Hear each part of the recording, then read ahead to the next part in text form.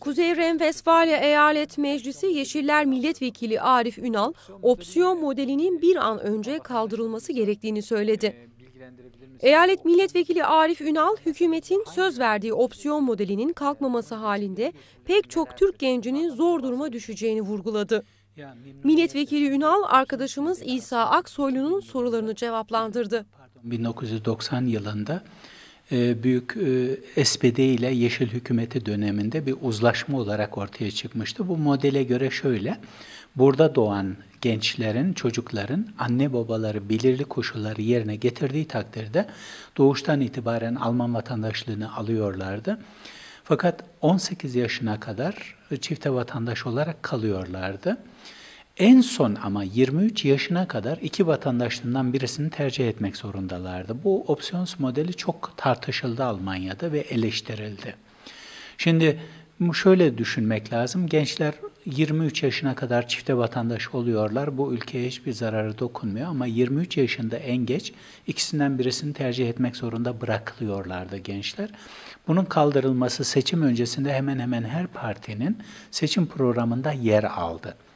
Yani çifte vatandaşlığın koşulsuz olarak kabul edilmesi ve opsiyons modelinin kaldırılması ile ilgili. Şimdi koalisyon sözleşmesinde de ne yazık ki beklediğimiz gibi çifte vatandaşlık prensip olarak kabul edilmedi. Sadece bu opsiyons modelini kaldırıp opsiyons modelinden yararlanan gençlere çifte vatandaşlık vereceğiz diye bir sözleşmeye ibare konuldu. Fakat ne yazık ki hükümet kurulalı işte 27 ee, Kasım'da bu e, koalisyon sözleşmesi duyuruldu. Arkasından hükümet kuruldu. Bugüne kadar henüz bu opsiyons modelinin kaldırılmasıyla ilgili bir yasa teklifi meclise sunulmadı. Dolayısıyla gençlerimiz mağdur durumda kalıyorlar. Çünkü 21 yaşına kadar o gençlerin hangi vatandaşlığı seçtiklerine dair bir dilekçe vermeleri gerekiyor yabancılar dairelerine. Şimdi bunu vermedikleri takdirde Türk vatandaşlığından veya da kendi vatandaşlıklarından çıkmadıkları için Alman vatandaşlığını otomatikman kaybediyorlar.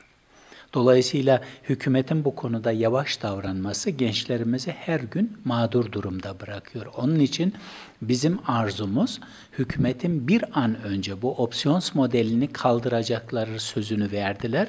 Bunun yasa teklifini meclise sunmaları Artı bunun hangi koşullarda olacağını bilmemiz gerekiyor ki gençler mağdur duruma düşmesinler.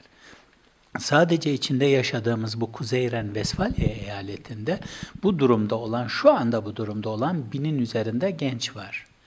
Bir de şu da belli değil. Mesela bu gençler Alman vatandaşlığını kaybediyorlar.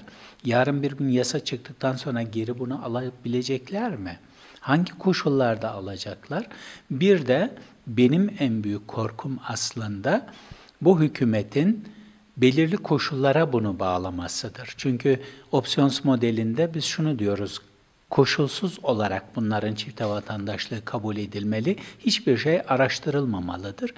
Ama hükümet ortakları CSU, CDU bunları belirli koşullara bağlamayı arzu ediyor. Şu anda gelen mesajlar o doğrultuda.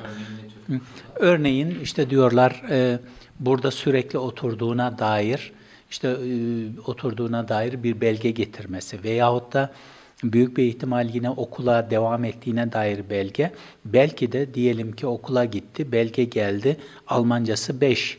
Yeterince Almanca bilmiyor diye engellemek mümkün olabilir diye düşünüyorum. Veyahut da 23 yaşına gelen gençlerin koşullarını yeniden bir araştıralım. Çünkü e, doğuşlarında anne babalarının belirli koşulları yerine getirmesi gerekiyordu. Ama bu 20 yıl içerisinde birçok şey olabilir.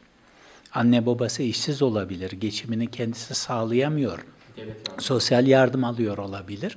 Şimdi bu koşullar yeniden hepsi sanki Alman vatandaşlığına yeniden giriyormuş gibi araştırılırsa birçok gencimiz çok mağdur durumda kalacaktır diye düşünüyorum.